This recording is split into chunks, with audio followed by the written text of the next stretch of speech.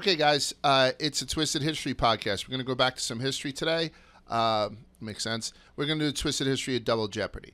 Twisted History of Double Jeopardy is uh, something that fascinates me. I've seen a bunch of movies on it that I love. But before we get into that, we're going to do a couple of DMs. One was from this guy named Dan E. Who he wants a Twisted History of Large. What do you think? I could do it standing on Twisted. History of the Twisted History of Stu Feiner. I'm I'm saying maybe not because I think the Twisted History of Stu Feiner is kind of a one-off. If we do the Yeah, Twisted it's- History of Large, I want to host it. Oh yeah, I, Would I even be in the room? I mean, I would think that I'd probably, I probably should. I know more about me than, than anyone. But I, I think you know, it's it's kind of cool. Maybe collect the twisted history of the Twisted History crew or something like that. And that's not to discount myself. I've had an incredibly uh, blessed and interesting life, leading right up to a happy 25 year marriage pretty soon and three wonderful kids. But um, you know, from the mean streets of Brooklyn to the mean streets of South Bend, Indiana, to the mean streets of Ridgewood, New Jersey is fucking fascinating. But I don't know if it's going to go. This is one of the reasons why I use Dan's um, DM because he also says, uh, My girlfriend Julie absolutely hates the podcast, but she suffers through it on every road trip and every carpool to work. So right away, I was incensed, and I said, "Ooh, Julie spells her name J U L E I G H. What a stupid way to say. Just, Julie is stupid. But if she's sitting through this stuff, like particularly if she doesn't like history, if she doesn't like my voice, your voice, your voice, your voice, woman's a fucking saint. She's up there with Saint Anne. So shout out to Julie. I changed my mind on her, even though her name is spelt incorrectly. Um, the second letter we got was uh, from Josh Helgerman. Large, you were talking about the in the history of ma- the mailbag thing, uh, dying years after the incident. I thought this was pretty interesting. Josh Helgerman said, "My great grandfather died 68 years after being mustard gassed in World War One." He says, "From the gas, 68 years after." That's the whole DM. So I don't know specifically what his grandfather died of, but mustard gas chemical u, uh, exposure to mustard gas agents have caused skin cancers, respiratory and skin conditions, leukemia, several eye conditions. You see, a lot of people went blind on the battlefields in World War One. Bone marrow depression, immunosuppression, psychological disorders, and sexual dysfunction. By the way, Josh Helgerman's great grandfather had no sexual dysfunction. That guy was fucking shooting ropes until the day he died. That's what I'm saying, because guy's a fucking hero. Chemical used in the productions of chemical weapons left residues in the soil where the weapons were used. And those chemicals have been uh, the, those chemicals that have been detected can cause cancer and affect the brain, blood, liver, kidneys, and skin. The development and production of chemical weapons threaten public health, so not only did war gases like mustard and chlorine endanger the lives of soldiers, but also threatened the safety of workers who manufactured them. The reason I gave you that little diatribe was to tell you there are a lot of ways that downstream mustard and chlorine gas can fuck you up. So I'm assuming that this gentleman's great grandfather perhaps died of some sort of immunosuppression or some sort of leukemia related to the mustard gas. So my question is to you guys 68 years after this happened, does this count as a World War I death? Before you answer, the reason he brought that up when he said we talked about, you know, dying years after the incident, I'm going to recap for people who don't listen to every one of these podcasts. Hillsborough, right? 1989, 94 people died on that day. 10 year old all the way up to 67 years old. Another person died in the hospital a couple of days later, bringing it up to 95. That person that person counts. Another victim died in 1993, 4 years later. And then in July of 2021, a coroner ruled that Andrew Devine, who died 32 years after suffering severe and irreversible brain damage on the day, was the 97th victim. And I think we all said, oh shit, he was in a coma from that? Oh yeah, he's definitely a fucking victim. Mm-hmm. And everyone counts him as a victim because some guy named Brandon Jackson and a couple of others mentioned Paddy the Baddy, who works for us, or we kind of own the rights, or so- whatever the fuck it is. I've never met Paddy the Baddy he's a uh, MMA guy from Liverpool. So he's got a horse in that race. He's got a horse in the race of you know Liverpool uh, soccer and all that kind of stuff. So he's invested as like people from New York are invested in 9/11, and he sings "Justice for the '97" every now and again because he's what they call a scouser. A scouser is somebody from Liverpool that got those disgusting accents and whatnot. So apparently that guy who had died so many years later does count because Justice for the 97 includes the dude who died of irreversible brain damage 32 years later. Then the twisted history of the Eagles of Death Metal tragedy, right? We said there were coordinated bombings in Paris in 2015. We brought the number of victims up to 131 to include a man who survived the bombings but then killed himself two years later after the attacks due to PTSD. And we said, okay, he counts too. Like he goes to the death toll.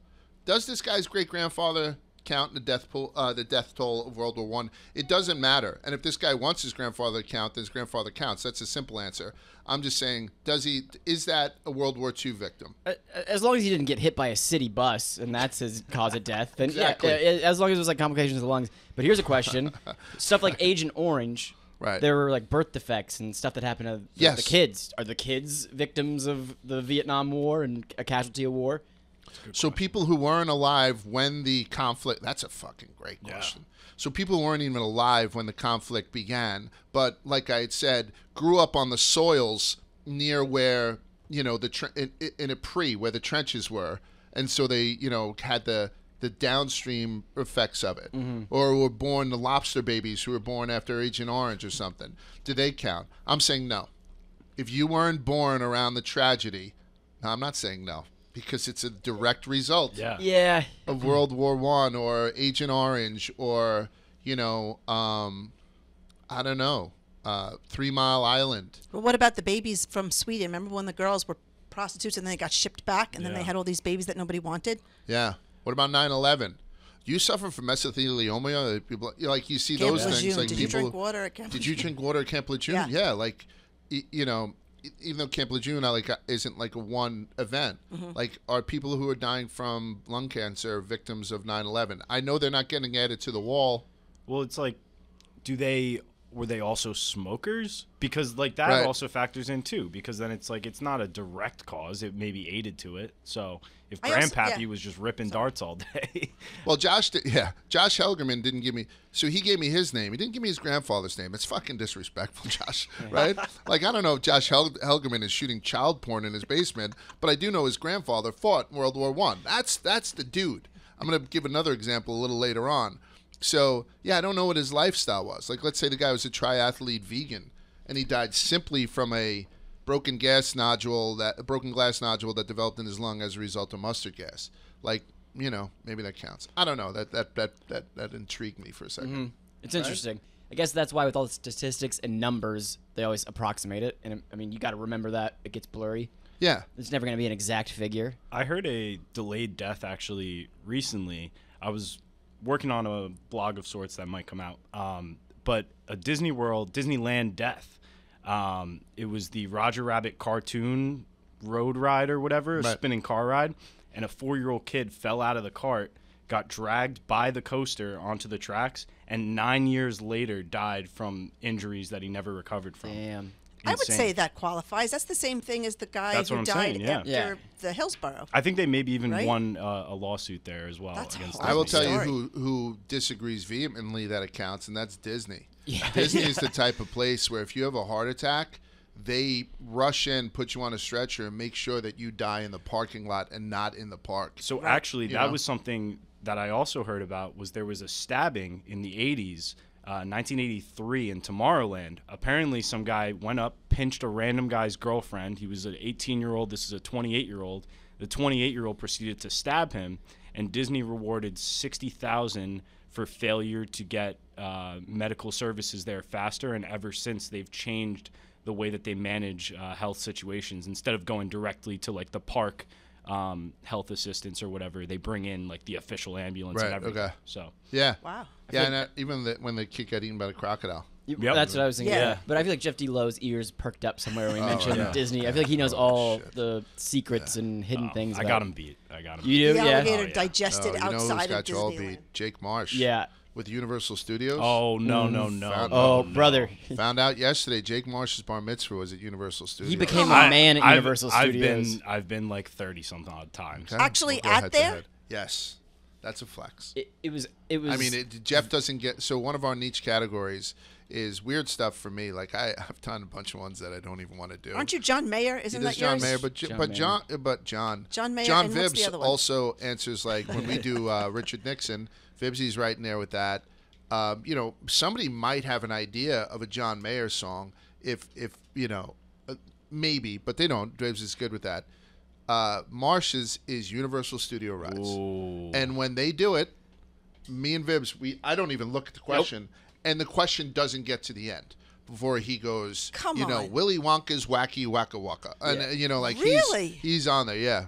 well, That's if you the- need the- a, the a dozen. sub, that sounds Uh, like a that's it? perfect situation. That's Phone a friend hysterical. for the Yeah. uh, for the niche guy. How many Yeah. people did he have his bar mitzvah?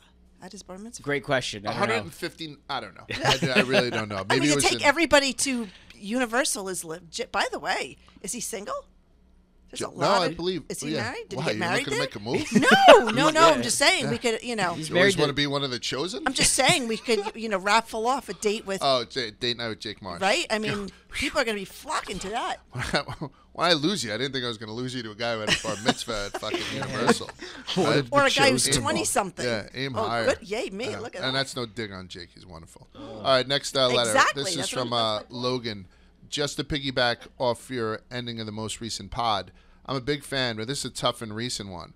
Patrick Kane of the Blackhawks at the time, after a rape allegation, so he was playing the Flyers, and the whole Philly crowd was saying, "She said no. She said no." That's tough That's rough. another one. This one I'm not going to tell the guy's name.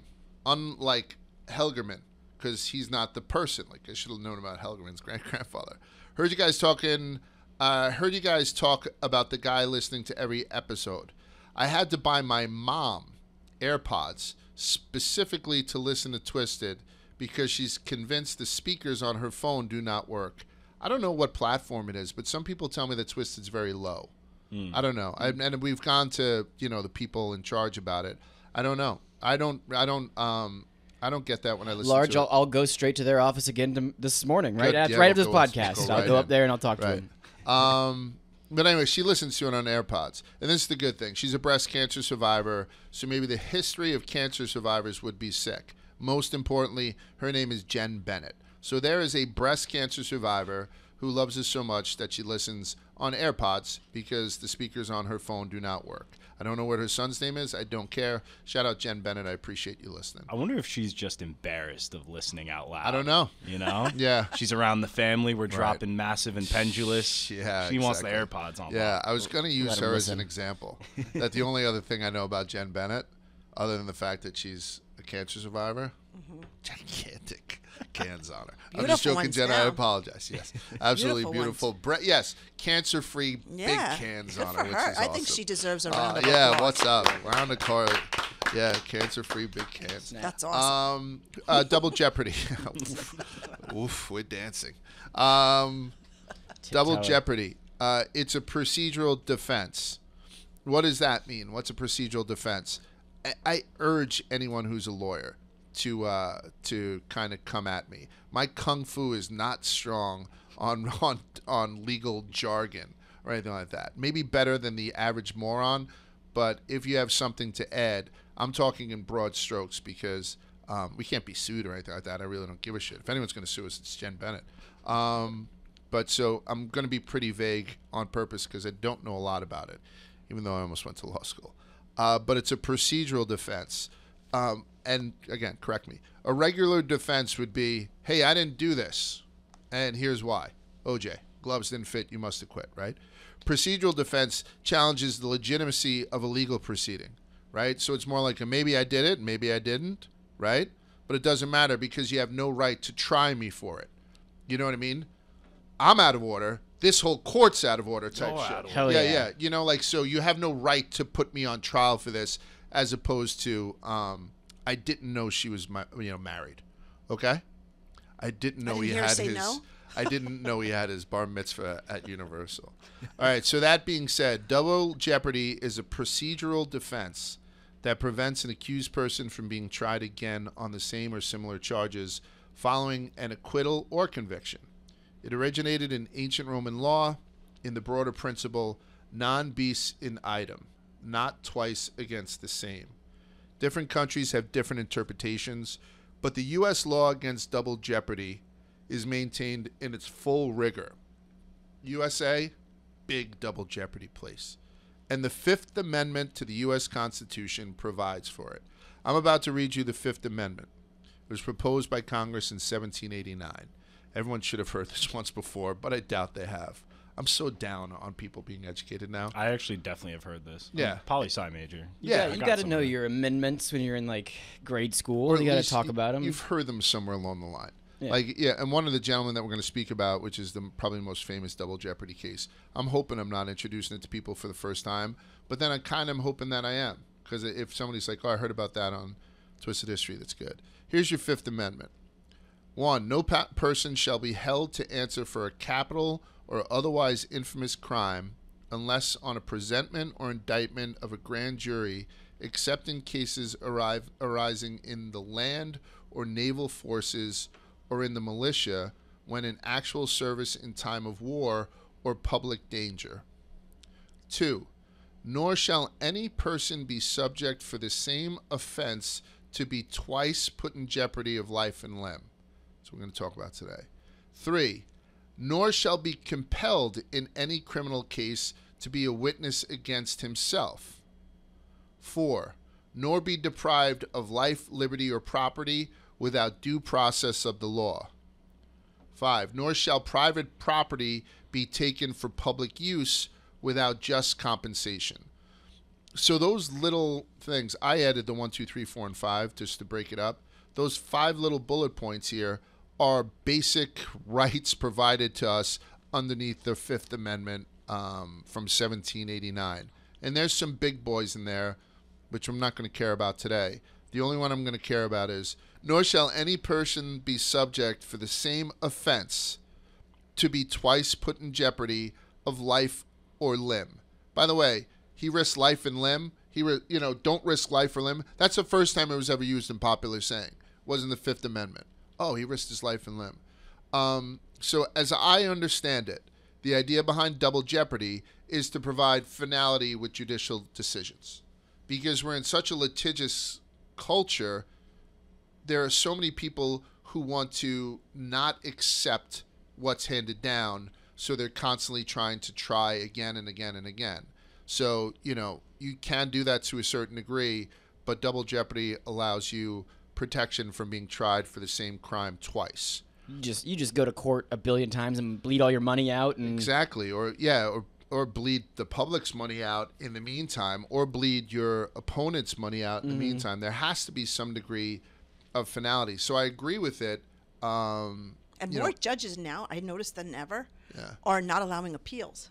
Have you noticed yeah, noticed so that? the appeals process in the United States is ridiculous. Like no, but there, there, you know, I see it in NASCAR. Like you know, NASCAR hands down a fine, or in uh, football, or in any sport, and and it goes to the appeals pro, and then that fine never holds up. I noticed It's it with the Alex bullshit. Murdaugh trial because Jack and I been- were watching it Yeah. religiously. It was kind of like a soap opera. We were like, oh, what's going to happen? Oh, yeah. Yeah. But he appealed and they told him no. So I was reading an article on how more judges today are saying no to appeals than, than ever before. Yeah. Right. Uh, not that it's as big a, a case, but I know Tom Brady, his like Deflate Gate thing. Mm-hmm. He went through what two courts, and at first he was like innocent, and then all of a sudden he got tried again, and he was guilty. Yeah.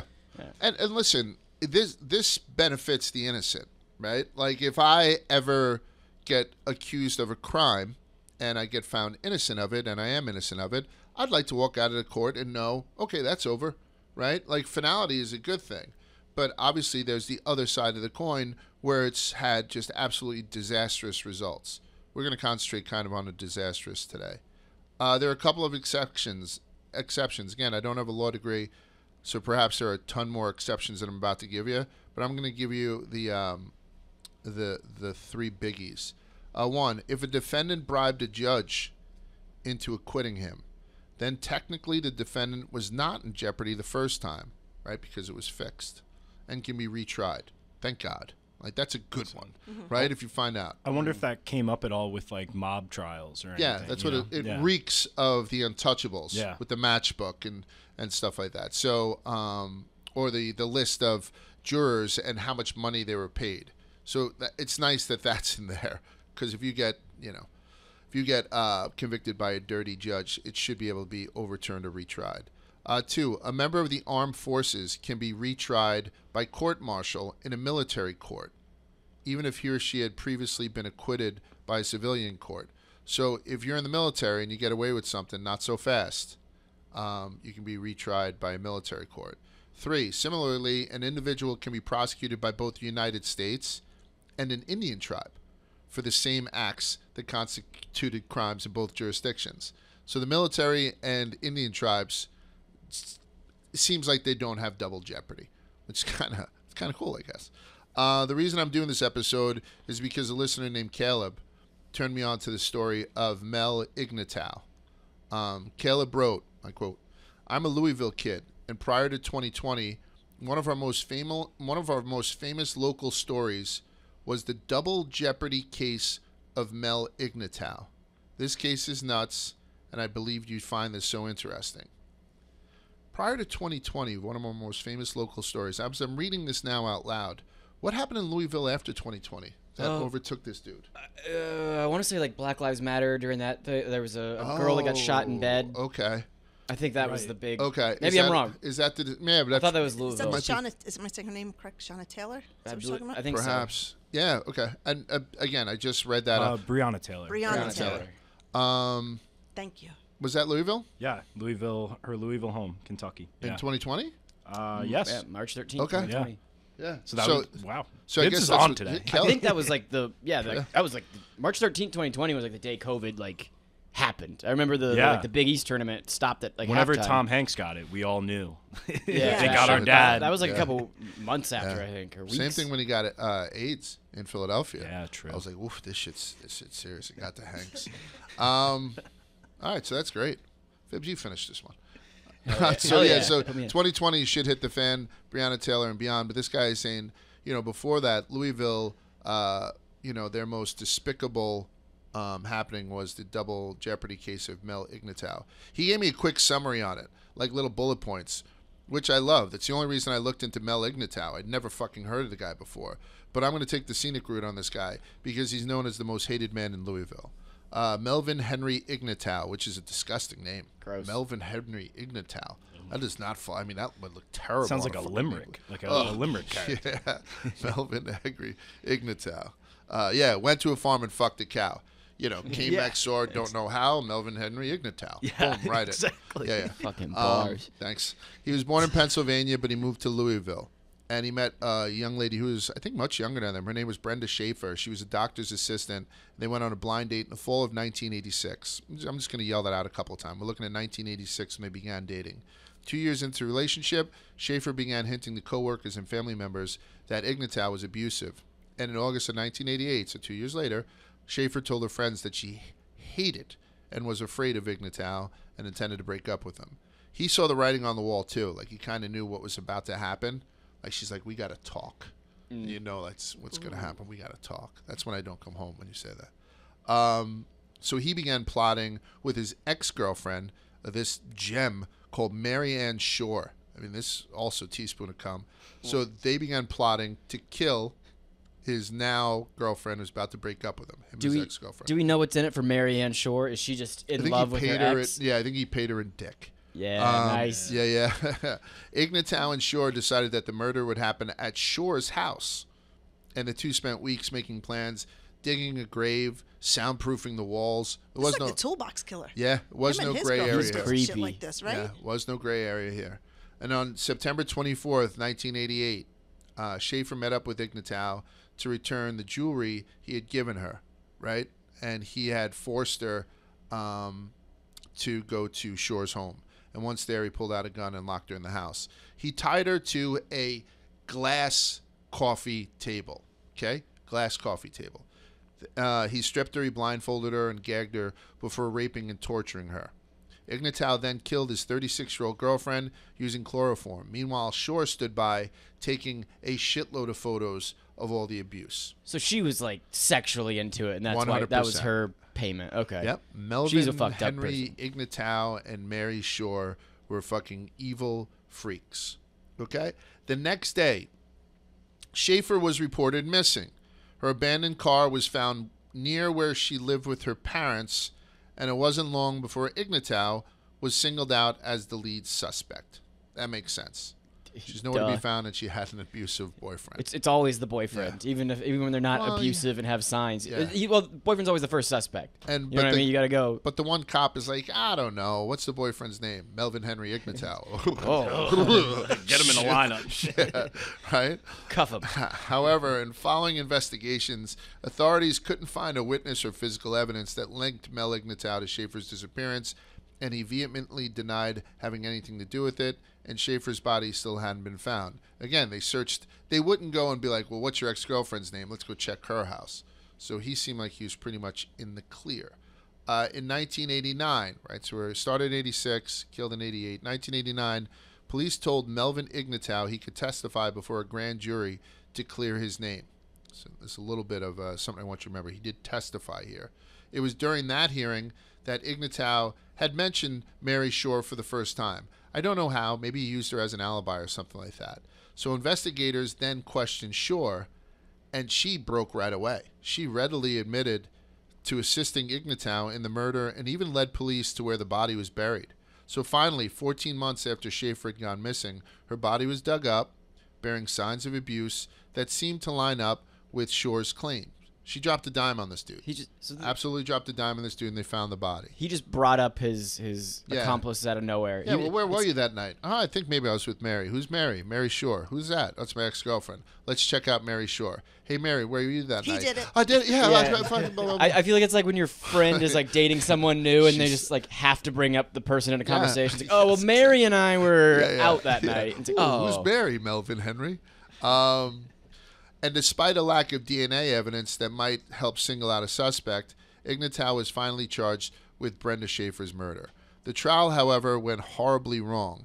As you could imagine, Mary was a freak. So Mary Shore was giggling on the witness stand. She left a terrible impression, and it hurted her credibility in the eyes of the jury. So much so that the defense even suggested that Mary Shore had killed Brenda Schaefer out of jealousy, like she implicated herself so much with her freakiness.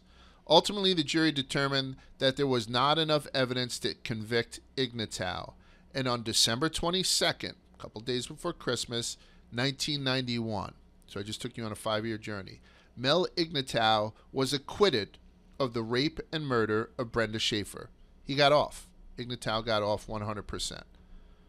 Okay, so 1991, and Ignatow is found innocent. The judge on the case, embarrassed by the trial's outcome, actually wrote a personal apology to Schaefer's parents for how the shit went down. that That's something. I don't know. That's like when the NBA is like, well, I know the the game is over and they won, but Right. I'm really sorry. Like they can't do anything after that. It's, felt that it's- way it's too, kinda Jeff. empty. Yeah. Take this letter and shove it up your ass. Yeah. If Yeah. you if you really my cared, daughter's my, dead and yeah, no one's in prison. Yeah. Yeah, I agree with that 100%. Uh, Ignatow, this is a good part. Ignat, yeah, so Annie just held up a uh, a picture of Ignatow and Mary Shore. Okay. They were special. Well, they look alike. I, I Yeah. wasn't I didn't want to say anything. I don't know why it took me so long to Google them in this. Like a crazy hot girl or a Uh-huh. crazy girl look Googled it. There won't be a, a movie about these guys No. anytime soon. Maybe a, a series podcast. He looks like that the guy in that Canadian, meme who's uh, the like, Canadian "Ooh." series Mayday uh, might pick that. Remember Mayday was doing every plane crash. We Oh, God, about? yeah, those yeah, guys yeah. Were awesome. Yeah. I hope those guys But do these some more these work. are these are Yeah. some Kentucky folk. I But could, it- I could see a little like Meryl Streep. You know? Uh, Meryl Streep. I could yeah. see Glenn Close after last week's absolute dis- Oh my God! Vibbs' reaction to her was of so. Glenn Close by. By the way, I got a few DMs saying Vibbs was right.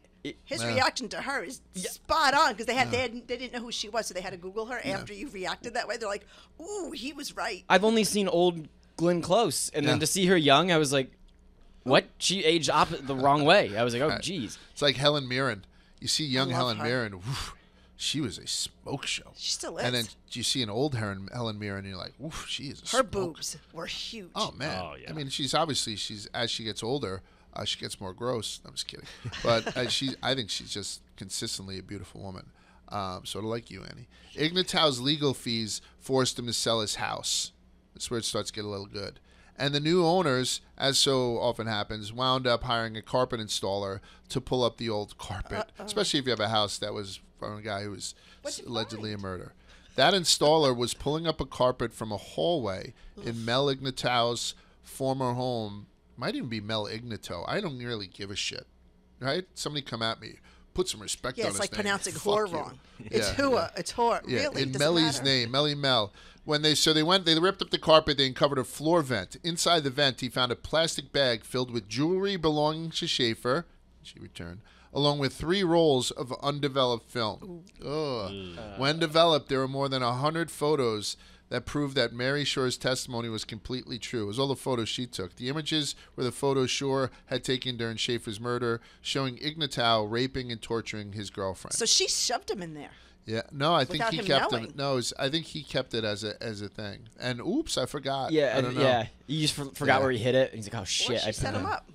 How about this? Ignatow's face was not in any of the pictures, but body hair patterns and moles matched Like it the. Michael Jackson child. Melvin Henry Ignatow Yeah. had a specific body hair pattern uh. and moles. Gross. That oh god, this guy's awful. Imagine that being your job, matching those up.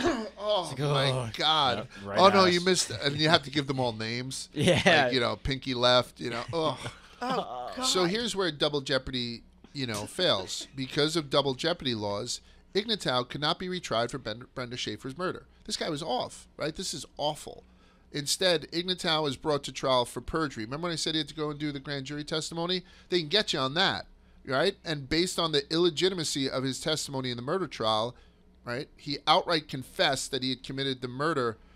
So he gets put on for perjury. And during that trial, he confessed to committing the murder, right? Because all this new mole evidence was in. So then he was sentenced to eight years and one month for perjury. This is in 1991. Uh, excuse me, 1992. So we're still like, you know, pretty close. So in 1992, he gets eight years and one month for perjury. He served five. But in his 1997 release, they fucked him again. Good. He was charged again with another count of perjury in a case involving Schaefer's boss.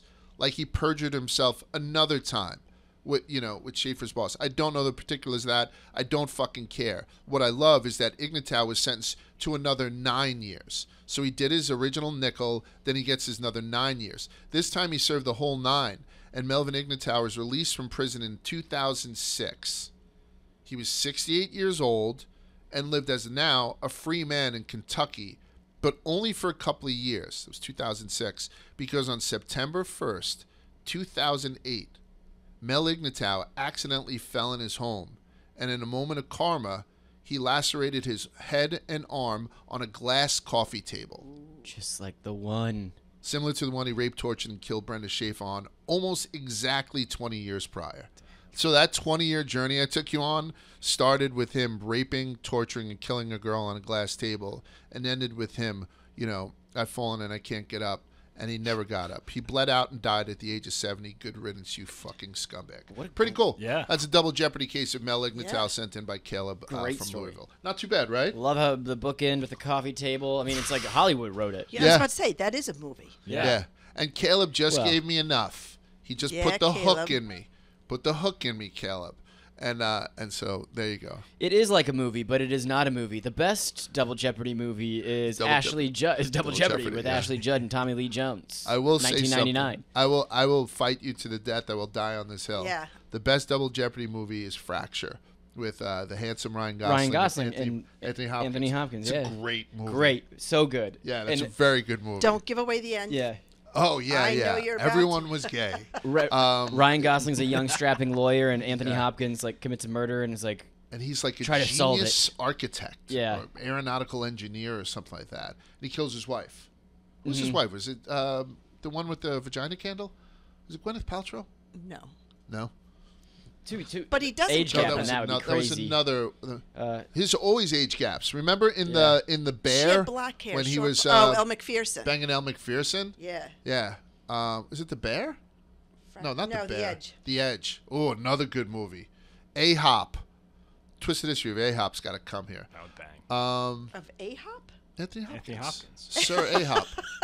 Rosamund Pike. It's like House of Pancakes. Oh, Rosamund Pike. Yeah, Rosamund who Pike. plays She his was in wife in that Gone Girl, movie? right, or oh, something Oh, like I, that. yeah, I Yeah, recognize She's her. great. Yeah, right, she's right. good. She's a great Kind of has a actress. little Paltrow look to her. I think Paltrow was killed by like Viggo Mortensen in one of those movies oh, too. Oh, when she was married to Michael Douglas. yeah, Michael Douglas. Yeah. Back at it Pulling him again. down. Munching box. Fatal Attraction.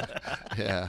Uh, where have we Yeah, that's mentioned? right. So that's a brand new story. Mel Henry Ignatow is a brand new story for us. But where have we mentioned Double Jeopardy before on this podcast? Kind of. And right away when I heard this, I thought of Issei Sagawa. Yeah. Right? Yeah. I'm going to tell you the story again because I love the fact that this guy. In 1981, Issei Sagawa fell for a Dutch woman named Renee Hartevelt. Woohoo. While he was in France. He invited her to where he was staying. Once there, he snuck up behind her and he shot her in the head. He posthumously raped her, and then after he raped her, cor- her corpse, he ate parts of her flesh, both raw and cooked, for three days until he decided to dump the body. And that's where he was caught in a park with two suitcases filled with her dismembered body parts. You remember that he was about to dump this stuff in a lake. Two joggers walked by and saw that there was blood dripping from it. So he was literally caught red handed right? And that's how this guy was fucking caught in France. Uh, in interviews, he explained he'd been fascinated with cannibalism since the first, first grade when he'd stare at a male classmate who uh, was originally from Indiana and ran cross country. He used to stare at his thigh. My short shorts. And he also admitted that he partook in bestiality with his family's dog. Um, but here's the thing about the story that kind of links it into this week. Sagawa was never prosecuted. He explicitly confessed to his crimes when he was caught by the French police, claiming, I killed her in order to eat her flesh. No gray area there. But examining doctors declared him legally insane and unfit to stand trial, therefore leading authorities to deport him to his home in Japan. All right? Follow me here. When Sagawa went to Tokyo Psychiatric Matsuzawa Hospital, doctors there gave him a different diagnosis, right? The French were like, he's crazy. And the Japanese were like, no, no.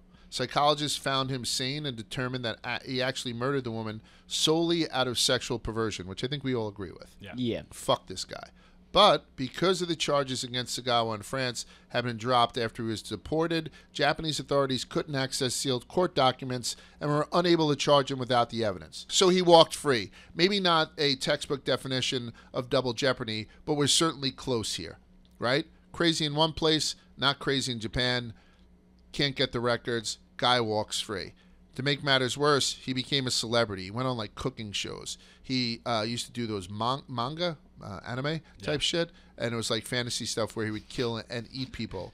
He, he was eating raw meat on fucking cooking shows. The guy was a celebrity in Japan. He sold nude paintings of women. He was a real fucking scumbag. And the reason I bring this up is because as recently as November 24th of last year, Issei Sagawa died at the age of 73 of pneumonia without ever serving a prison sentence for his crimes. So another guy who died in good fucking luck. I mean, I'd love if he died by slipping on a bloody suitcase, you know, to have that, you know, whatever moment that we had with Ignatow. Choking on a thigh bone. Yeah. Yeah, yeah, absolutely. Chokes on a chicken bone or something Choke like on that, thigh Went for a bone. yeah, yeah. It's Vibbs' thighs are, are fucking hypnotic. Um, all right, so this is Built where for we comfort. Yeah, no, no way. Those things are built for speed, bro. Um, Built for built for a marathon. Built for distance. yeah. This this is the important part of this podcast. We have a lot of fun with podcasts. We have a lot of fun with. Um, I think uh, Coleman had sent out in our thing. Oh, by the way, we, we passed a milestone with uh, YouTube. What was that milestone? Uh, 45k, 45k on YouTube. Yeah. And So- like a bunch of like a bunch of millions of downloads or something. yeah, like that? we had like millions of views in the past. Like literally started this week, we were over a million of views on the page. So Right. So for people who don't know what the uh, I don't know what the distribution of work here, I do everything. Uh, no. So Jeff comes in here and is my crutch, right? So I I just feel better doing stuff with Vibert, and we don't talk outside of this. We don't hang out on the weekends or anything like that. But I just find Vibbs to be the perfect foil for this. If he stops, if he wants to stop doing it, I'd be fucking done, right? Annie is basically a sex toy for me, which you guys kind of know about. We- we but it. then Annie does so much stuff with us for uh, social and with helping me out with the research. Like as I'm doing this stuff at the table yesterday with an absolute bag on from Talladega. Can we get the Issei Sagawa stuff? Like literally, I said it like that. Can you get me the Issei Sagawa stuff? And all of a sudden, it's like there. Like that stuff is fucking whatever. Um, and then John obviously is the producer from day one. And Jack Coleman, even though everyone seems to universally hate him, so Yeah. Jack is a guy who's been building up, um, you know, the YouTube page and also on TikTok and social stuff that we weren't, you know, on there before. Everyone does their thing, but we're seeing a lot of growth in what uh, what Jack's doing. So we appreciate it, Jack. Yeah, Uh, so no it should be mentioned on the show. Happy I appreciate everybody. And by the way, the difference between uh, Jack, Vibbs, me, and John is Andy doesn't get paid. Somebody call Erica. Uh, yeah, somebody get this fucking woman paid. 100 And- 170 fucking episodes. She's having sex with you. Yeah, that's right. She has, she's Wait, similar not? to Mary Shore. She's only getting paid three inches at a time. yeah. yeah, yeah, exactly. On a good day. Uh, so like, and so Jack had commented in the. Um, this is why I went off on that tangent in one of our group chats about how it's cool how we can lighten things up, and I think we talked about the crushing in Hillsborough, and I, you know, it said how it reminded me of dog piles when you're a kid, being on the bottom of dog piles, and then I had made a sexual innuendo about how you know she still winds up on the bottom of my dog pile, and and I get that. This is very little uh, funniness to it. Like there's not a lot of levity involved with this story, which is probably the most famous story about double jeopardy in the history of the United States. You guys agree with that? Yeah. Does I do. Emmett Till ring a bell? Yes. Yes. Yes. Okay. Emmett Till, and I think with the benefit of the movie last year, or whenever the hell it is, it's ringing more and more bells. But if not, I, I'd, I'd be proud if people first heard about Emmett Till, or if it actually became a little bit clearer to them. It's not something that they read in a textbook and forgot by the time they went to lunch because of what we're going to talk about now. Okay? Mm-hmm. And because Emmett Till is a tragedy that essentially started the civil rights movement. That's just a fact. I'll give you a little timeline on it after this. I haven't Go seen ahead. the I haven't seen the Emmett Till movie. I'm throwing that out there. Fuck that I don't know if movie. anyone here has. kidding. well, I I, haven't seen it I haven't seen it because I'm always like, oh, that's gonna be Oscar porn. Uh, Yeah. You know what I mean? I'm like, they just are uh, Yeah. Hollywood. I you know when I was doing this, it said that the movie was um, from the uh, and if somebody saw the movie and it's not that, it was from the perspective of Emmett's mom, May, maybe.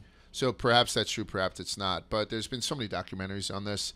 But you're right, it's probably just Oscar bait. I I've know. seen enough documentaries where I know what's going on, and I'd, I'd probably recommend watching a documentary before this movie. I don't know. Yeah. I'm trying to. I'm trying to now justify. Oh, I like Selma. I swear I'm not racist. No, no, I, I, no, I, I, I, I agree with you 100%. I think some documentaries are done better than other, and, and then Hollywood obviously stylizes some stuff. Um, so, not the history of racism in the United States. We're not going to do that, but you should know that um, on January 31st, 1865, and ratified on December 6th, 1865, was something called the 13th Amendment. And the 13th Amendment, we talked about the Fifth Amendment, it abolished slavery in the United States. So slavery after 1865 was illegal. But that didn't eliminate racism, right? Like 1865, oh, no more racism. You know, quite the opposite. well, glad glad we're all done with that. that was, that was pretty wild. Well, that was ugly. Welcome aboard, everybody. Yeah. Right? Sorry about those chains. Get to work. Again, there is no levity in this part, and it'll get worse. Uh, but then you get the Jim Crow laws. I'll do an episode on the Jim Crow laws. Holy shit. Like reading them, they're such a stain on our history. They were meant to marginalize African Americans by denying them the right to vote, uh, to hold jobs, to get an education, or like a ton of other opportunities. And they were attempted, you know, those who attempted to defy these Jim Crow laws faced arrests, legal arrests, fines, jail sentences, violence, and death. Oh, Death? In between 1865, right, 13th Amendment, and 1955, I just fast forwarded 90 years, documented uh, nearly 900 black men were lynched in the state of Mississippi alone. That's it. And I know I'm like nine, so that's about 10 a year. You know, lynched. That's that's not good because you know a lot of trees were busier than what was documented. So this is very very bad. I'm going to make a point about it in a second. I'll make it right now. This is Nazi-ish bad. And one of the tenets of Jim Crow laws was strict prohibition of interracial relationships. And they were called anti miscegenation laws. Okay? There was also something called the one drop rule that stipulated that anyone with any black ancestry, like people would never do 21 and me back then. What- What's the thing that they do? 23andMe. 23andMe? Like no one, Yeah. Twenty One and Me was like a movie with uh, Jennifer Garner, wasn't it? Twenty. Is 21? I don't want to make was the joke. mean like- no, no, no. You're Where thinking of the Kate Thriller? Hudson, where she had got Jennifer 20 ways Gar- to lose a guy. No, Jennifer Garner, who's like in Alias. 13 she- going on 30. meh, There's too many numbers. Did numbers. she do something where she was doing the Yeah, thriller 13 dance? going on 30. All right, 21 and me is another one. That'd By the way, this is so serious. Tw- well, isn't there? 21 me is just like, I think you're just going the wrong I'm going direction. Oh, I'm Why? thinking 17 again. 17 again might be it. No, Yeah, 13 that- going on 30 who's with Mark 17 Ruffalo. again? Zac- no, Zac she did the Efron Thriller and- No, that's with that. Mark Ruffalo. Mark Ruffalo, what's the name of that one? 13 going on 30. I remember a Lot that. of And, and Zac Efron, you probably said that already. Yeah. Zac Efron's Yeah, yeah. 13 going on 30, right? no, What? that's No, that's no, 17 no. again. God damn it. 17 again. Mark Ruffalo in 13 going on 30 with Jennifer Garner. 21 and Me does not exist. 23 and 21 Me. and me is Yes, 23 and Me. 23 and Me is the the thing you spit in a jar and they find out if you're a, a Viking. 23 and me is what got the is what got uh, Are you saying- DeAngelis the strength. Are you the- saying the- 23 in me? Because that's a Oh, porno. that, you That know what? porno. 21 and Yeah. me is 21 what and he's over 21 and is a movie. Yep. And then 21, the card movie. Barely Yeah. 18 is a magazine. Um, all right, so anyway, back then the reason you wouldn't do any kind of genetic testing is because they had the the one drop rule. There wasn't genetic testing back then. It stipulated that anyone with any black ancestry, one drop of black blood, was legally black and could not marry a white person. That's fucking harsh. And it wasn't just blacks. Like laws also defined what made a person Asian or what made a person Native American in order to pre- prevent these groups from marrying whites. It's a eugenics thing that we spoke about so many times. Virginia had the Pocahontas exception for prominent white families. Um, It sounds like it's gonna be reasonable. Pocahon- yeah. so if you happen to be descended from Pocahontas, then the one drop rule didn't apply to you.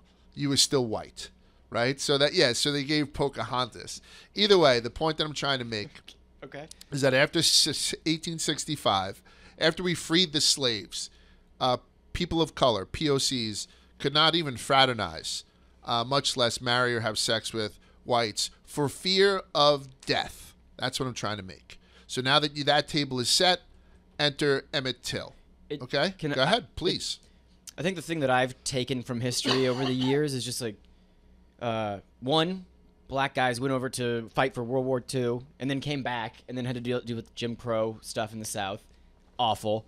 And then if you lived in the North, granted you still had to deal with racism, but you go down south and then there's just a completely different set of rules. You're like it was like you were in a different country. both of those points both of those points you know, I'm, I'm going to talk about but the second point that you're making couldn't be more um, uh, personified than in the story of emmett till because he was a 14 year old kid from chicago he's a 14 year old kid from chicago his parents i believe divorced when he was a baby. Actually i believe his father was um, violent towards his mom mamie till from the movie till. So they split. I think he was one years old. And he never got to meet Lewis Till, his dad.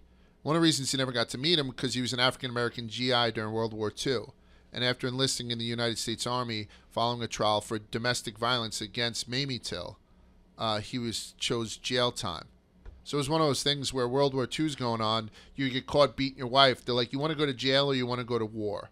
That's wild. I mean- and you you choose war. Sm- oh, he went to war. He didn't go. He to went jail? to war. Okay, But he went yeah. to war, and when he was over there, he's court martialed on two counts of rape and one count Ah. of murder in Italy. So he went to war and he was raping the shit out of people, and you know what I mean. So he he was found guilty, and he was executed by hanging in Pisa, Italy. Whoa. I'm not doing this to denigrate the story of Emmett Till, but I'm starting by letting you know he was raised by a single mom in Chicago, okay? And his father was a fucking scumbag who was hanged for raping people and who beat his mom, okay? I think sometimes that's overlooked. Troubled home life. Yeah. Um, maybe that's all. Besides the point, I don't know. He was a Chicago kid who wound up spending time in Mississippi with his family. And that's the first flare that Jeff brought up. Growing up in Chicago, he was not prepared for that level of segregation that he would encounter in the Deep South, particularly in Mississippi, that hang, hanged 900 black guys after 1865. So one day while going to a local candy store, and there are many versions of what happened that day. One version of the story is that Emmett, 14 year old kid, and listen, he was like a confident kid, cocky. Chicago kid. He was a jokester. City kid, yeah, yeah.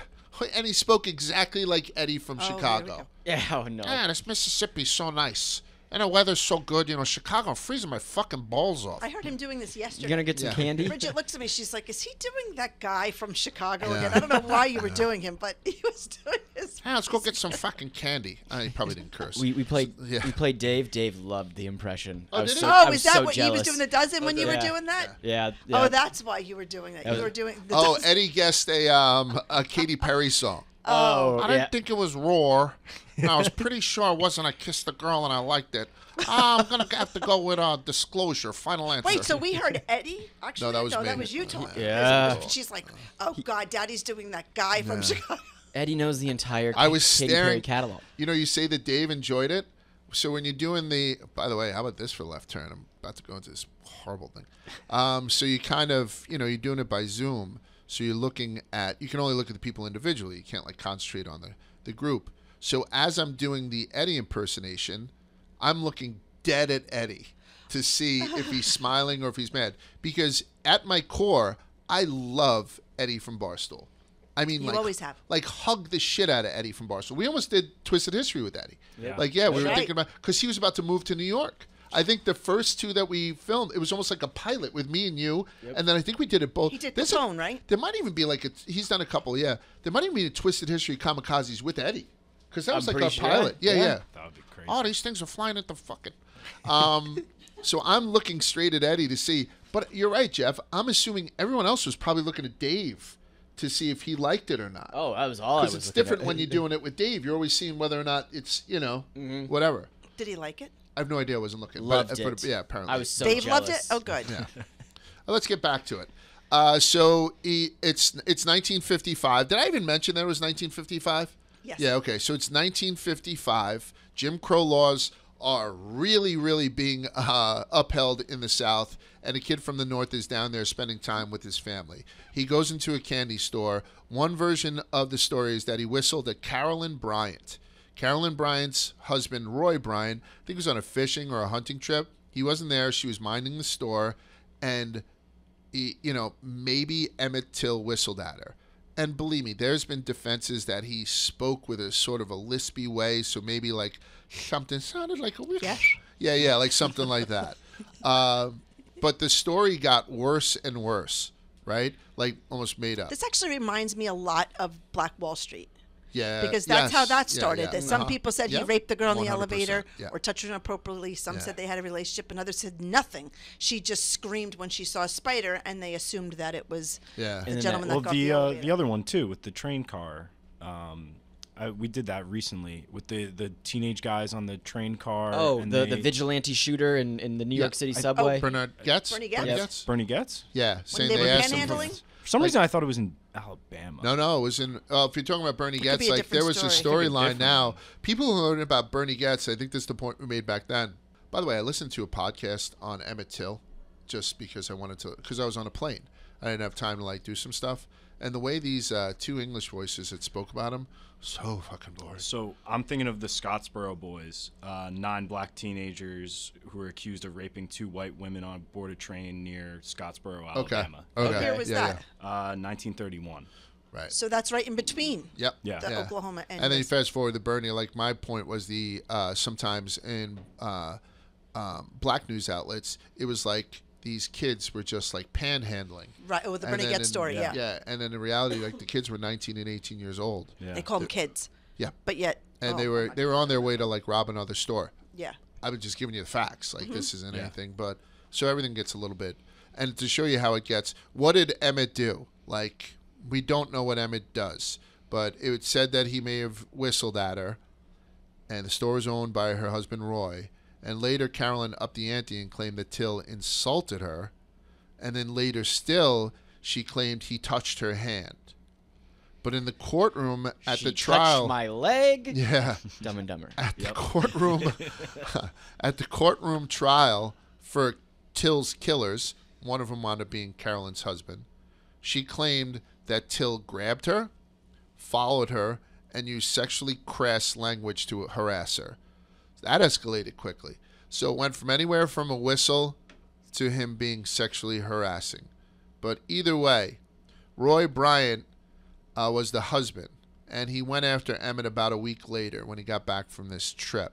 And he brought his half brother, John Milam, with him. And they went on a manhunt for Emmett Till.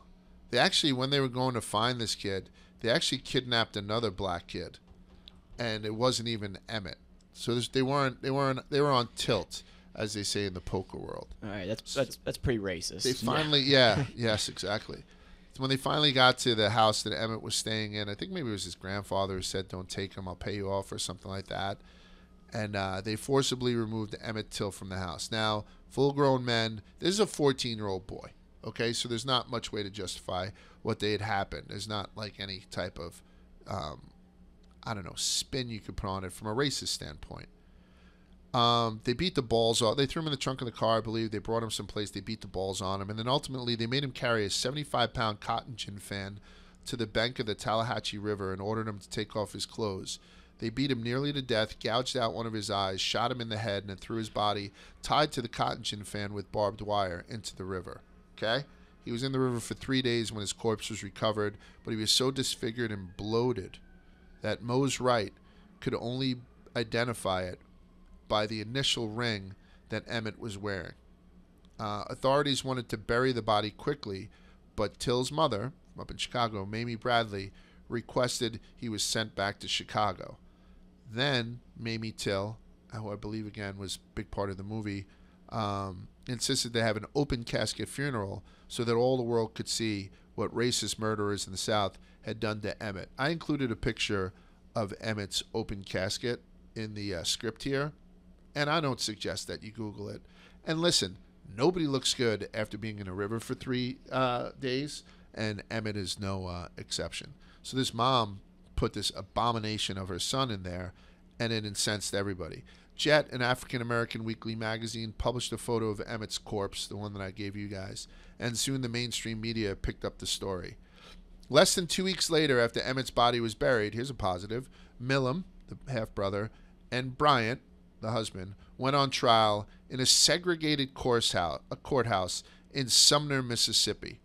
Let's give you your first idea. It's like a segregated courthouse.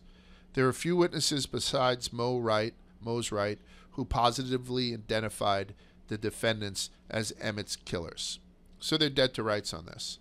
Uh, but now I'm going to tell you it's in the thing. It's an all-white jury. They were pounding beers during the trial, like they're drinking beer and stuff during the trial. Like it was very, very disrespectful. yeah. Yeah. Um, defense told the jury that their forefathers would turn over in their graves if they found these two white guys guilty. Like that was one of the mentions of the defense. It's 1955. nuts. It's crazy, right? Um, it took 67 minutes to acquit these two men. 67 minutes, the trial. And one jury member told reporters it wouldn't have taken that long if they didn't stop to take a smoke break. Milam confessed in an interview with Time later on about what they had done, and that's where it becomes double jeopardy. They couldn't be tried again. Um, Milam lived until his 80s. Rory Bryant lived until 1994, and I believe Carolyn Bryant is still, still alive. alive, yeah.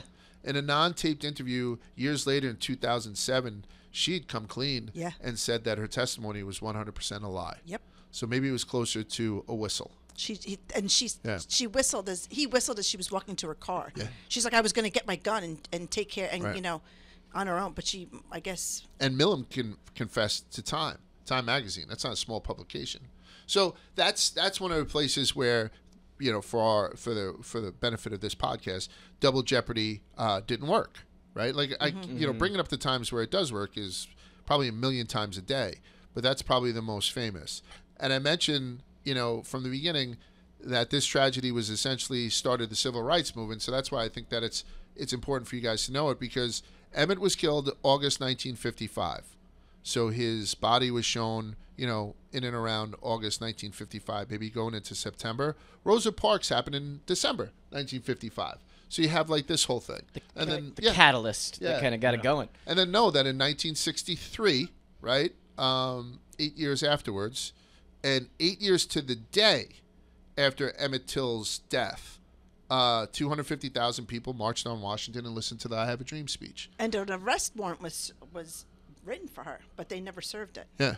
So Yeah, so th- this is right in the middle of uh, of what th- not right in the middle. This is right at the forefront of people finally saying we've had enough. Okay, and then I'm going to go into a left turn with the Jim Crow laws because I said it was very Nazi-ish, right? Mm-hmm. They started after the abolition of slavery again, 1865. I'm hoping people remember this. 1865, no more slavery. Jim Crow laws, 1955. Emmett Till, 1963. We, I had a dream. Okay, so we're 1865. In 1935, I don't know if you remember this, but there was a guy with a tiny little mustache and a bad haircut, right? Nazi Germany passed two radically discriminatory pieces of legislation the Reich Citizenship Law, and the second one is pretty self explanatory the Law for the Protection of German Blood and German Honor. Together, they were known as the Nuremberg Laws, and they laid the legal groundwork for the persecution of Jewish people during the Holocaust and World War II, when the Nazis set out to legally disenfranchise and discriminate against Jewish citizens. That's what they wanted to do. I'd used the word disenfranchise just a couple minutes ago, right? They weren't just coming up with this shit out of the air, the Nazis. They closely studied the laws of our country.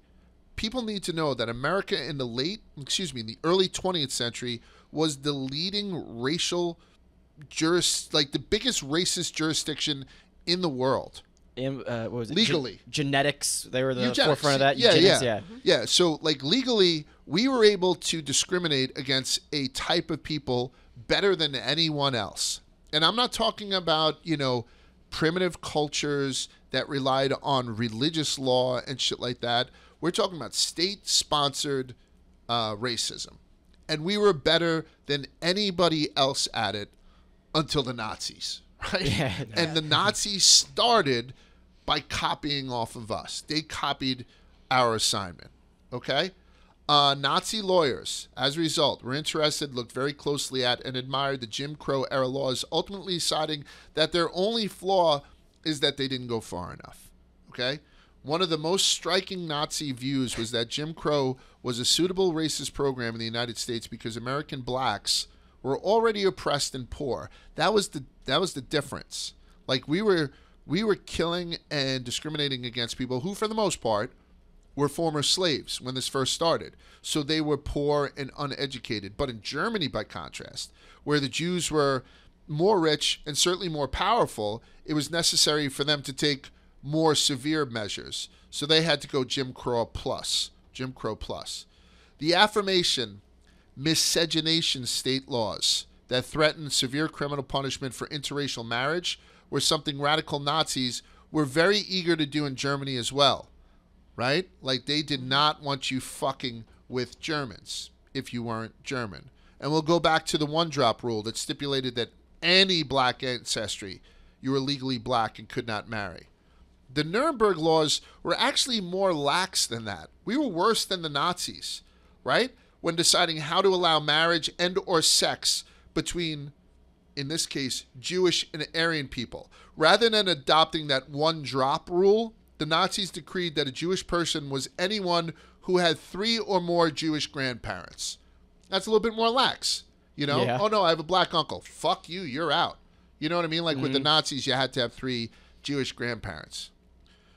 Which means, and here's my point American racial classification law was much harsher than anything the Nazis themselves were willing to introduce in Germany.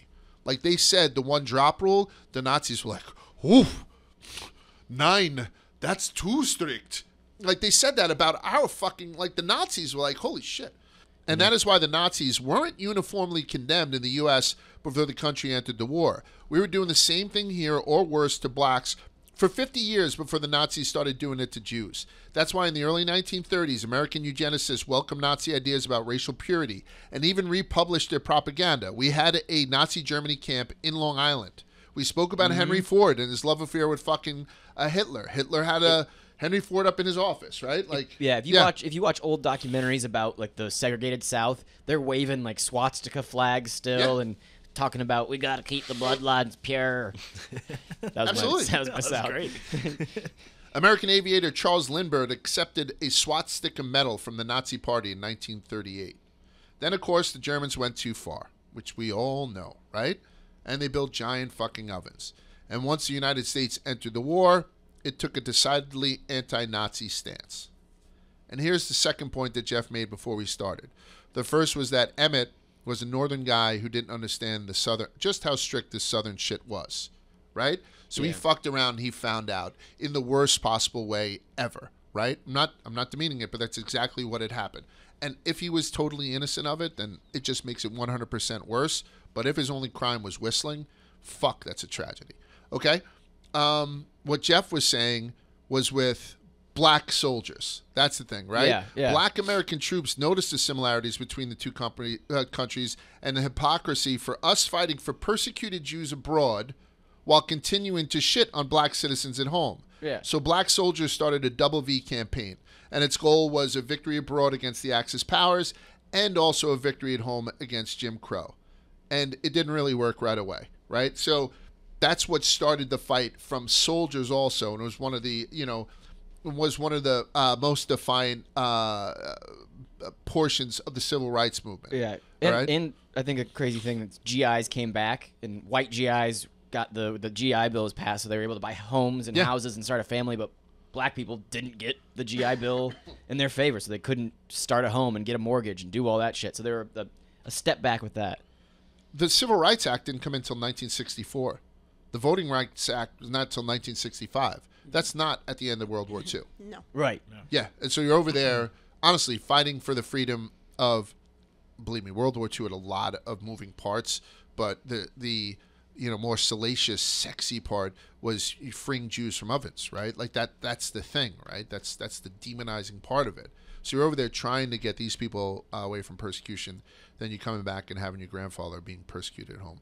Um, so anyway, so that's what makes Emmett Till such a important story in American history and one of the most important uh, cases of double jeopardy ever in the history of the world.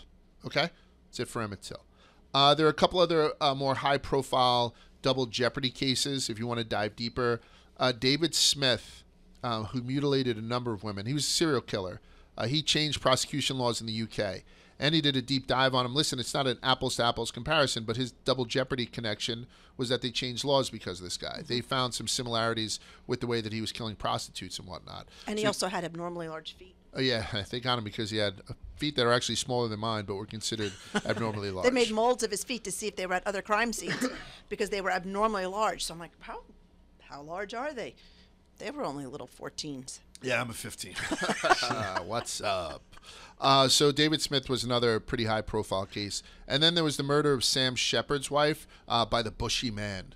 Um, so look that up, like, or, or we'll do it at some other part because I think I'm going to do something on F. Lee Bailey at some point. Uh, F. Lee Bailey is a lawyer that uh, he was part of the Dream Team that got OJ off. But what brought F. Lee Bailey into um, national spotlight was his work with uh, Sam Sheppard, who was being tried for the murder of his wife. Oh, it was the um, it was the inspiration for the Fugitive. Did everyone see the Fugitive with Harrison Ford? No. I didn't kill my wife. I didn't kill my wife. I don't That's care. a much better I one. know. Yeah, yeah. I don't care. Yeah. I thought it can't did he find- say I don't care. I, I know. I think he says I know. No, I think no. He said, I don't care. Because I then the don't other later on, he says, I don't negotiate. I don't.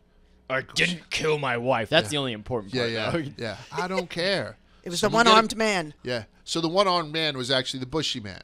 And so, you know, man. go get a cane pole and fish him out or something like that. Um, and so this guy was found, and an F. Lee Bailey came in. And remember that one exemption that I'd said that if they, like, it was some sort of tampering? Like, he was saying that the way it became a media circus, uh, Sam Sheppard was not able to get a fair trial. So that was the connection with Double Jeopardy. But it's a pretty um, fascinating case, Sam Sheppard.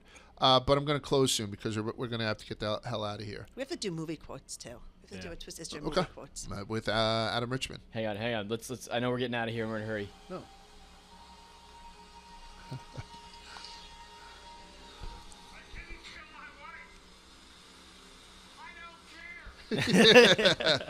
yeah. and, he ju- uh, he jumps off in the fucking zip up sweater. That sweater was hot. You don't. Sweater. You don't want Tommy Lee Jones chasing you. No. Do not. No. He was Al Gore's roommate in college. Yeah. Yeah. Really? Yep. Just Throwing out knowledge, Viv. That's what I do. Remember how delicious the hospital food scene when Harrison Ford finally got to the hospital and he clipped up his beard and you know, like grabbed a quick sandwich and stuff yeah, you like grabbed that. a buttered roll and a coffee. It's Yeah. the best. And the kid who got like it was a puncture wound in his lung. Do you remember what Someone said holiday it was? Anyone? Uh, uh, Guy Fawkes. No, St. Patrick's Day. St. Patrick's Day. Oh, the parade. Yeah, yeah, good. Um, I'm going to close on the real Jeopardy. I didn't know that Trebek was the original host. I did. People all know this now because Trebek is dead. Did they do all these retrospectives? Yeah. He I- was or I- was not. Didn't he create the show? I just assumed No. he was. No, not even fucking close. I close thought to he created he the show and somebody else he was else on a different game show at the time. I forget the name of it. I read his uh, memoir actually when he died. show Yeah, off. Art Fleming was the guy in 1964. Art Fleming, I think, did it from like Frank Fleming's dad, and then and then Alex Trebek took it from him. And the like night a- he found out that Alex Trebek was getting it, he said, "You go to bed. You don't watch these Mets in the Yeah. playoffs." Yeah, yeah. and so it began.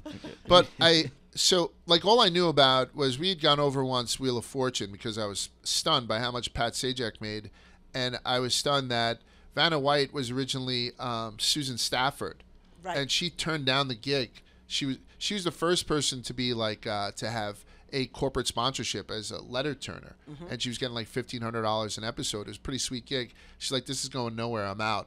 And then Vanna White went in what I think is the best gig in in Hollywood. Oh my Oh, God, it's yeah. great. Vanna And she got so much press a couple weeks ago because she wore a half dress, half pantsuit. Did you see that? No, Oh, it was like it was super controversial for some reason. They have their uh, their daughter doing it now too. Sometimes Do they? she'll step in. Yeah. oh, Oof. really? How cute Really? Yeah. Oh, she's just- I was Oh, bagging yeah. what Vanna was raking, and she did a Playboy spread and stuff like Big? that. What's that? Oh, big pendulum. No, she's she's actually pretty tight. Um, like to buy a vowel. yeah, yeah, the O. exactly. oh, Orchestra. oh. Yeah, I know. Soundboard. He's explaining to like, All right. So Susan Stafford was the original. Vanna took over. Similarly, original host was Art Fleming. So the show went off the air for a while, and then it was coming back. Maybe even Art took a pass. Got to find that out. But Trebek got the gig in '84, kept it till his death in 2020. One of the things that changed was when it was Art Fleming. I'm going to talk about Jeopardy right now because this fascinates me, uh, and Double Jeopardy, man. With Art Fleming, as soon as the question came up, if you knew the answer, you could buzz in. With the new Jeopardy, you have to wait till Alex. It doesn't register till he's done talking. Yeah. So like people were able to like as soon as the thing went up, you would buzz and then you could read it Those yourself rules to you. and do it. You well, know what I mean? So that's a, a common misconception is some people get on there and just slam the buzzer. Mm-hmm. Yeah. You're not getting the fir- the first try Yeah. at it. You just got to be consistent presses. Right. And then you'll get through. But Art Fleming, you could just go right away. Exactly, yeah. And then Art Fleming didn't even like the way that Jeopardy was going. He said it was starting to play down to stupid people, that they should concentrate more on New Yorkers because New Yorkers are the smartest people in the world, stuff like that. That whatever. But East so Coast elitist. yeah, so in Classic. comes in comes uh, Trebek, and he's obviously the goat. Uh, what is professional gambler James Holzhauer's strategy when competing on Jeopardy? The goat. Yeah. Holzhauer, who is he? He's the third highest earning American game show contestant of all time. Best known for his 32 game winning streak as champion of Jeopardy from April to June 2019. Holzhauer won 2.4 million in his 33 appearances, making him the second highest winner in Jeopardy ah. regular play, non-tournament. Yeah, see, I don't. I think Ken Jennings is better. It's just different Ken eras. Jennings, you can't number one. You can't compare the two. No, you Yeah, can't. Ken but- Jennings is better. Ken Jennings. Oh, shit. He won 2.4. Ken Jennings won 2.5. I thought he Listen, got Ken, passed. Ken Jennings is the Michael Jordan. Yeah, yeah. LeBron James and James are are spot on. They just had a whole different knack to their game Yeah. that can't even be compared. Yeah. By the way, Ken Jennings, you, you're talking about that like with Jeopardy. Don't be fucking myopic. Uh, Jeopardy, are you smarter than a fifth grader? Some called Grand Slam, which I've never seen, and Who Wants to Be a Millionaire. Cumulatively, Ken Jennings won over five million on those shows. Wow. So not only 2.4 and uh, 2.5 in Jeopardy, won a new, another 2.5 just going around. Are you smarter than a fifth grader? Trebek had a lot uh, in his memoir, like a lot of respect for Ken. Um, Did I say that? Yeah, Trebek had a lot of respect for him, and even said towards the end he's not sure where the direction of the show will go, who will take over, but he's like, I think it would be in relatively good hands. He's the best. Ken, yeah. I hate Mayim Bialik. Oh yeah. Oh, how could you say that? no, I'm not a fa- does a I'm not a fan either. I don't think she does a good job. Neither Maybe does that's Rodgers. sexist to me. Yeah. Oh, yeah. I, I believe me. And listen, I'm I'm not a Ken Jennings simp. I thought that Conan O'Brien would be the perfect fit for that. I think You I've did. said that You've here said before. that out loud. Yeah, I I, think, I, he'd be think that's a really good one. Bryan Cranston was the guy that I Bryan wanted to take Cranston. his Ooh. spot. Oh, yeah, that's I a think he's like a, a, a wise older man. Yeah. People respect him Yeah. like a Walter father. White. Jeff Delowe thought that Jeff Delowe should have got the shot. He, yeah. So did he- Francis. I think Francis was. was Francis convinced Francis just threw his hat in the Tucker Carlson thing too. so pick me up. Um, so we'll go back to James Holzhauer. But every time you say Holzhauer. Trebek or anybody, I can't help but think of that skit on Saturday Night Live Yep. when they have Sean Your Connery mother, Trebek. Trebek. Oh yeah, yeah, your mother's a whore, Trebek. Yeah, Le Yeah. tits now. yeah, Ape Tip 20. yeah. No, a petit déjeuner. He's like ape tit déjeuner. Uh, James Holzhauer. His nickname The is rapist. yeah, is uh, Jeopardy James. Jeopardy James is a terrible nickname. I think that's great. You like it? Jeopardy James is great. It's not Jeopardy Jennings. They Yeah. it to James. Okay, Jeopardy. It's like a Jesse James. All right, we Yeah. agree to disagree. JJ. yeah. Uh, and I guess you guys know it because you're more Jeopardy people towards the end than me. So he played horizontally, Yeah. first going down the thing. And uh, like everyone else, I appreciate when people go one category at a time, two to a thousand. I'd like to know why everybody doesn't start at a thousand. Well, that's what That's what James he does. did, yeah. So You what he to- did. I know why instead of- everybody doesn't. I know. He's I know, he instead of going hard, you know, instead of going vertically uh, in order, which it gets like progressively harder. Obviously, I'm not telling you anything. I don't know why this blew my mind because I love doing that because that's when I can sweep. You know what I mean? Like I get I get a little bit of fucking. Everybody knows steam. senior year should be a breeze. You take all Yeah. the heavy stuff in the beginning, and Yeah. then you, you know, you you, you sail into the right. sunset. But where I want I want to go here and go down, he goes here and just starts going across. Yeah. Yeah, which He's is talking which- for double jeopardies. Yeah. He starts sweeping across the highest value clues first, no matter what the category is. Once he's cleared out all the thousand clues in the first round, he starts climbing up the bottom left corner of the board where he inevitably hits on the daily doubles because they're always down there. And his strategy here becomes ballsy in that eight out of ten times he goes all in on daily doubles. Like you have to have a category that he's never fucking heard Love it. of from not to go fucking I'd like to bet the wad. I'll take John Mayer songs for a thousand, all in. Jake Marsh. Imagine if you got a daily double after you won all of them, and that was it. It was a John. I Oh, know, right? You know, one of my favorite things to do with Jeopardy is when they announce Final Jeopardy, guessing what the answer will be before even hearing the question. Uh-huh. yeah, yeah. Like you just Oh, whatever the category is, I've gotten it once. You're playing chess. And the I rest think of us it was checkers. Roosevelt. and that's enough to keep you coming back for the rest of your every life. Every time. I had a That whole drinking drip. game to Jeopardy. Come Uh. on, it's the best. Finally, and this may be his most genius move of all, his strategy is conniving in that when you jump between categories horizontally, you make it extremely difficult to grasp what the category is even is. If I tune into Jeopardy late and I don't hear Alex Oh, here or we go. Jennings or Mayim like tell me what the categories are, Mm-hmm. I have no fucking clue. You get very Like, angry. I don't know if it's not potent potables, like, and it just gives you a potent potables thing that I know. I can't get it. Like Food I need to do it. Q. So this guy starts going across. So you never really, like, so you have to switch your bla- brain from potent potables to '80s rock to this. I I love this. You know what I mean? Yeah. So when you What's get your the, strategy, Vibbs? I'd go, I'd go down, just like, just like a. I heard I'd that go about down. you. I heard that about you. But no, I love, I love this guy's like the Bill Belichick of, of Jeopardy. He's just changed it all up. He's changed the game. Yeah. So moving around the board horizontally and from the bottom up makes it that much more difficult for his opponents to gain any advantage whatsoever. Um, I threw in a little bit of double jeopardy just to uh, to lighten stuff up with all the um, Nazis and American racism. That was the twisted history of double jeopardy. Thank you, Three Chief, for sponsoring us. And uh, what are we doing next week? I have no fucking clue. Want to do movie quotes? I don't know. Oh yeah, I'll take a look. I don't. I don't know if there's enough there, but we'll check it out. We could do I both of them. didn't kill my wife. What are you doing? Anything you need to plug? Nope, nothing needs plugged. We're just chill. We're here. We're Yeah, here doing we're history. good. That's what needs to be plugged. Yeah. Uh, Liam history. Is, Liam's going to put out uh, something from Talladega. We just did a big Talladega weekend. It was rubbing his racing with me, Spider. Uh, Dana Beers was down there. Alex Bennett was down there. Um, so we had the whole crew down there. Talladega is a party that has a race going around it. Yep. It's it's absolutely as southern as I've ever been. You want to talk about for people who have stuck on, stuck around? The most patriotic I've been in a long time is I rode the big rig with Spider and, and company Mm-hmm. going around the track with the hundred foot flag behind us, with everyone saluting Johnny us Ray. as we were going by and clapping for us, and we were doing 110 miles an hour on a fucking big rig. And In when the- it hit the, the turn, turns. when he hit the turn, Liam bumped his head. Like I think Liam has a black eye. Smashed Oh my his head into the camera. Spider went into like the, the the cabinets. You know, I was sitting down, and I brought my son Mick, so he got to to experience that whole thing too. So if you guys do get a second to check it out, I have Ref and Robbie coming out every Thursday, going up into um, going up into Rough and Rowdy. Me and Robbie do this thing where we're previewing stuff about the fights that are going to go down in Huntington, Virginia on May 12th. You'll be refing then if it's in I'll Virginia. be refing. I'm gonna I'm gonna ref a couple of fights again. Um, so Ref and Robbie leading up to Rough and Rowdy, uh, rubbing his race. A lot of R's. Romanus Race and Twisted History and Barstool Finance if you get a sec. Uh, that's it for us. We'll see you guys next week.